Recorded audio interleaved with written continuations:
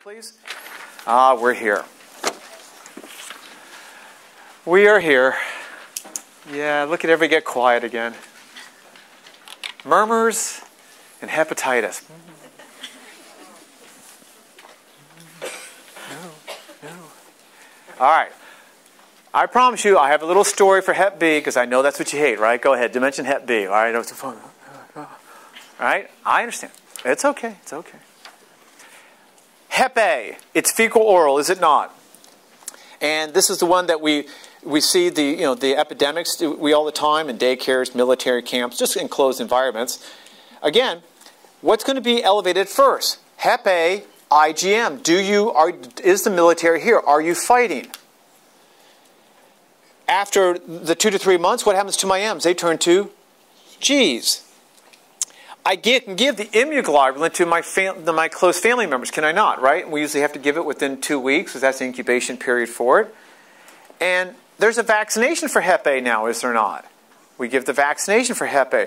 For the boards, what would I choose if, if, if I was in a review question like Kaplan or PAEs and they asked me what to do with the family member? I'd say yes, I'd give the immunoglobulin. Guys, by the time you take your recert, you lucky, you lucky people get to take it in 10 years. I'm still stuck behind the six year curtain.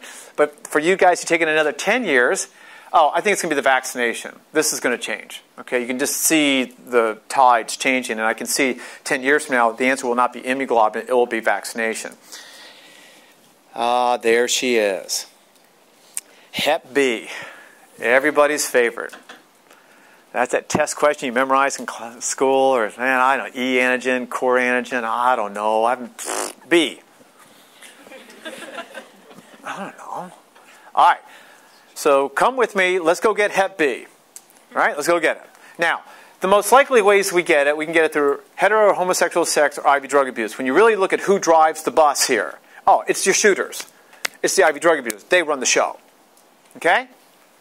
So let's say that you and I become heroin addicts. We're going to shoot IV heroin. So we're going to get Hep B. So we introduce Hep B into our serum. Got it?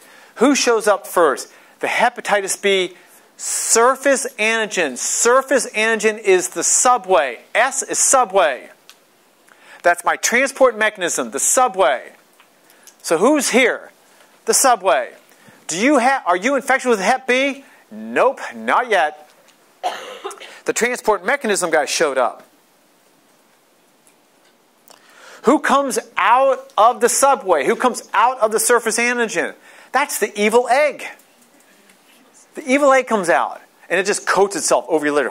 Mm. Coating over your liver. Yeah, check me out. Yeah, you're going to get sick now. Oh, I'm all over you. Yeah. Right? So the E antigen is secreted out. That means I'm going through viral replication because I'm secreting all over you. So I'm replicating, am I not?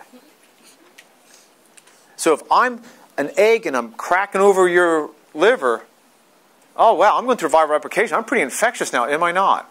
And then the last thing it does is it injects into the cells. See, I secreted, now I'm going to inject.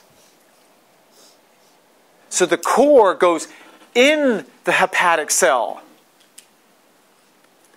Do you get it now, guys? Can you measure the core? No, where is it? It's in the cell, it's not in the serum. Does everybody see this? So, one more time repetition works. I shoot IV heroin. Who comes out? I get the subway, the surface antigen. That's my transport mechanism. Who comes out of the subway? The evil egg. What's he going to do? Coat over your liver. He's replicating. You're infectious.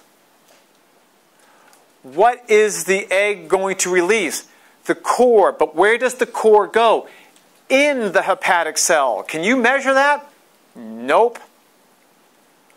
You're the body. You going to lay down and take this? Oh, heck no, I'm going to fight.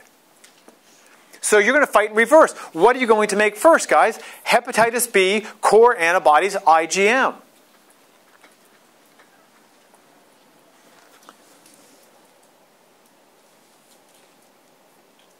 That indicates the diagnosis of acute hepatitis B. Did you make IgMs to the core? Could I measure the core? No, because where was it? In the cell. But I can measure the core antibodies. Does that make sense to everybody? And then what's the next thing you're going to make? E antibodies to the egg. And then the last thing you're going to do is you're going to walk up to the subway and you're going to go, okay, I got to make surface antibodies. Okay. Imagine if you can, I do the IV heroin, subway shows up, egg secretes, throws the core in the cell. I got core antibodies. I got E antibodies. Man, have you seen the size of that subway? Look at the, really? Ah.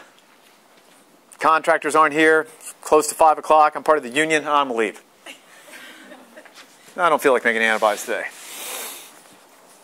Imagine you don't make antibodies to the subway, which means the surface antigen is always positive. Welcome to chronic hepatitis B. In chronic hepatitis B, what happened? They just ran out of steam, guys. They never got to make antibodies to the subway. Does everybody see this? So, what's positive in chronic hepatitis B? Hepatitis B surface antigen. The subway is still there. You never made antibodies, you just ran out of steam. All right, so does everybody see how the questions rear their ugly head? How do I know I'm going through viral replication? I'm infectious because the egg secreting. That's the E antigen. How do I have the diagnosis of hepatitis B? Did I make antibodies to the core? Do I have core antibodies, IgM? Does everybody see that? How do I diagnose chronic hepatitis B? The surface antigen. I never made I never made antibodies to the subway. Does that make sense to everybody here? Okay, if you kind of keep that story set, you'll do fine, guys. Okay, you'll do fine. Yes, sir. With the chronic hep B, uh, are you positive for the core antibody? Yes, you're still positive for the core. Yes, Just yeah, just the surface. Correct. Okay. Then the next test question that rears its ugly head. You and I get vaccinated for Hep B. You got it? We get vaccinated. Now, you're right. They give us a series of three shots one, two, and three. Now, if they measured our blood the next day, the next day, we'd be positive for hepatitis B, surface antibodies, IgM, would we not? But they didn't draw our blood the next day, did they? Uh uh When did they draw our blood? Two to three months later. What were they looking for? The M's to turn to G's. So, me and you and the IV drug abuser from Club Sutra. But here's my question to you. Me, you, and that jerk, okay? Because he did have railroad marks. That jerk. We're both positive for hepatitis B surface antibodies, are we not? He made, excluding the chronic hepatitis B, but he made surface antibodies, and so did you. See, you and I got an attenuated virus. We got the surface antigen with nothing inside, no egg. So it was attenuated, it was fixed, right? So how am I going to differentiate someone from getting it active versus someone who got it passively? What did he see that you never saw? Core. Does that make sense? So what lab test could I do to differentiate a active versus passive immunity? Answer is core antibodies. Does, does that make sense to everybody? Okay, and that's what we order there, guys. Okay.